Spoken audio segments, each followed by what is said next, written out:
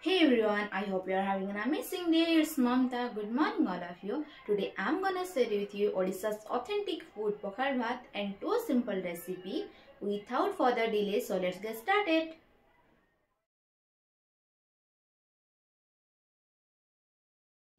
I am taking here few boiled potatoes. Now I am chopping the few potatoes in cube size. You can see these potatoes are not overcooked. Now I am taking a bowl, putting here all the chopped potatoes, then salt as per taste, coriander powder 1 tablespoon, turmeric powder half tablespoon and chili powder half tablespoon. Sprinkle a little bit water, mix it well and cover and keep inside.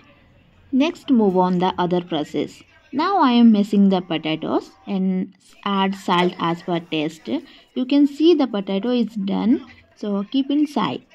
Then take a pan, add 2 tablespoons of oil, add all the marinated potatoes one by one and cook the potato golden brown in color in both sides.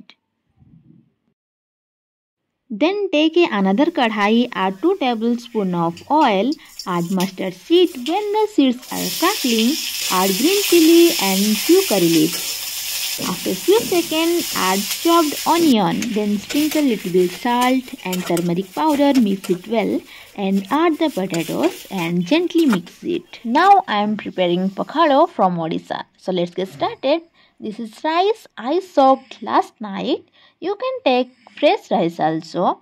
I am taking 1 cup of curd. Now I am adding here. Then sprinkle little bit salt and mix it well. Peoples are adding tadka. This is also good but different people have different tastes. Pokhal bhato is one of my favorite and you can have it with any kind of side items.